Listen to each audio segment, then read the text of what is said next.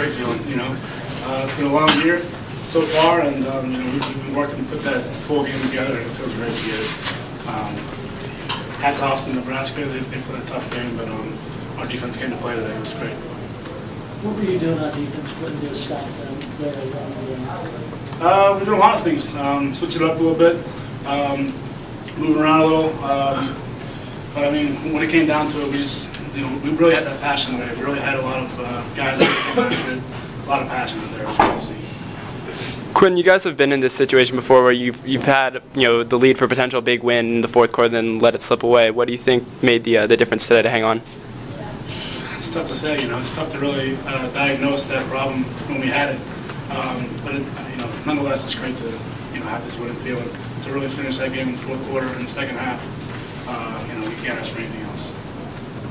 What kind of momentum does this give you now going home for the next three weeks? Momentum's a big thing, um, but um, you know, being at home is going to be a, a great feeling. You know, having fans out around the field, um, we can't ask for anything more than that. So we're happy to be back at home.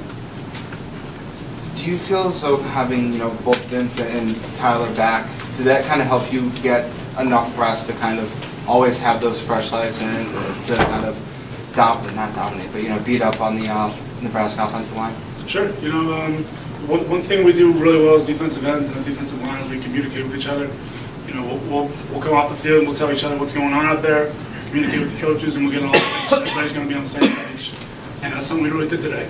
uh, you know, any, any changes we had, any adjustments, anything we saw out there, we, we translated, uh, you know, to our fellow players. So it's nice having all the guys back and uh, all the guys playing. So we're happy. You said earlier that you guys played with a lot of passion today. You know, what was maybe the difference in your attitude with today's game versus, you know, I guess even last week for, you know, your previous?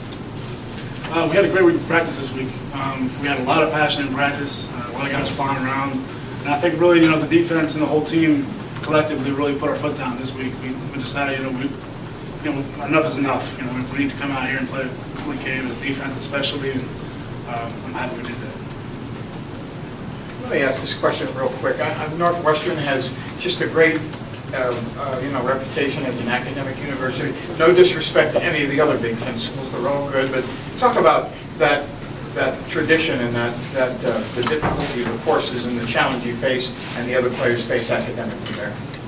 Uh, well, you know, one thing is we um, we have the luxury of being uh, not in school until you know late September, so having that advantage is, is key. Um, but you know, once we get into school, um, you know, it's it's tough. You know, um, the, the big thing is that we have guys that go to class, do the right things, and you know, um, get good grades and stay eligible. Uh, that's one thing that we have here. Is we have a good, a great school and great students as well. Anything else, Quinn? What, what do you feel as though you did well in, in kind of containing Taylor Martinez? Um, really, all we did was just stick to the plan. You know, um, we had a great game plan going into uh, the game to, to contain them. Um, we knew that we uh, we had to make control the ball, and that's what we did. So, um, hats off to our guys.